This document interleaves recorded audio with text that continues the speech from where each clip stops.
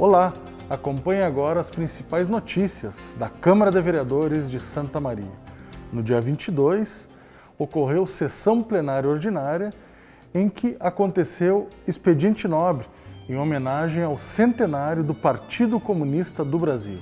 Nessa mesma sessão, também os vereadores aprovaram moção de pesar pelo falecimento da ex-professora e ex-vereadora do Parlamento Municipal aqui do município, Circe Terezinha da Rocha. Já na sessão do dia 24 de março, os parlamentares aprovaram quatro projetos de lei.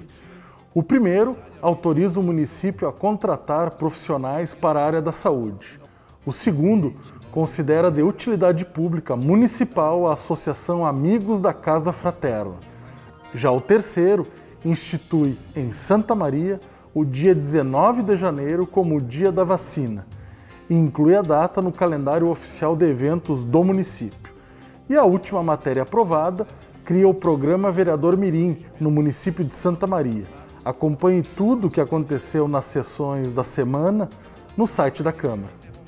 No dia 21 de março, a presidência do Poder Legislativo recebeu lideranças da comunidade em mais uma etapa do projeto Agenda Cidadã.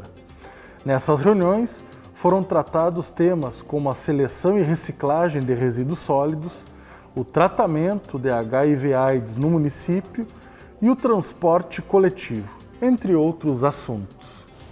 Dando prosseguimento à pauta relacionada ao meio ambiente e a ocupações irregulares, a Comissão de Saúde e Meio Ambiente reuniu-se com o secretário municipal de Habitação e Regularização Fundiária, Juliano Soares, e com o adjunto da pasta, Wagner Bittencourt, no dia 22 de março, no plenário da Câmara, para debater alternativas às construções irregulares existentes no município. Veja mais detalhes no site da Câmara, www.câmara-sm.rs.gov.br. A Frente Parlamentar em Defesa da Pessoa com Deficiência e a Comissão Permanente de Cidadania e Direitos Humanos participaram de atividade alusiva ao Dia Mundial da Síndrome de Down. A atividade ocorreu no dia 21 de março na Praça Saldanha Marinho e contou com várias atividades artísticas.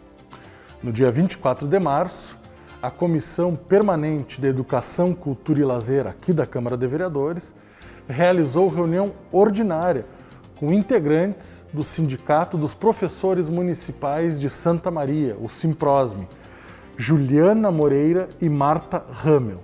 A pauta foi a necessidade de contratação de estagiários para auxiliar na educação infantil e de monitores para a educação especial do município. Na próxima segunda-feira, 28 de março, a Comissão Permanente de Políticas Públicas, Assuntos Regionais e Distritais realiza audiência pública para debater com a sociedade o transporte público municipal. A atividade inicia às seis e meia da tarde aqui no plenário da Câmara de Vereadores de Santa Maria.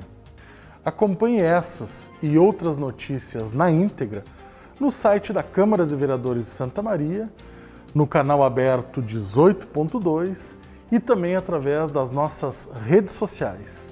TV Câmara, a tela da cidadania.